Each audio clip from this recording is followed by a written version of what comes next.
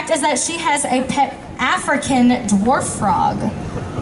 All these pets. Oh my gosh, so cute.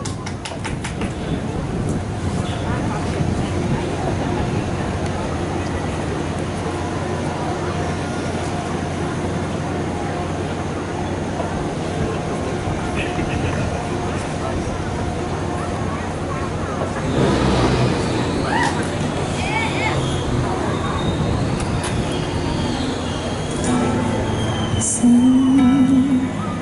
the song here in my heart. The melody I start but can't complete.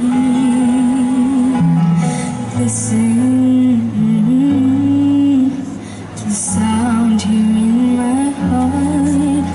Melody I start but can't.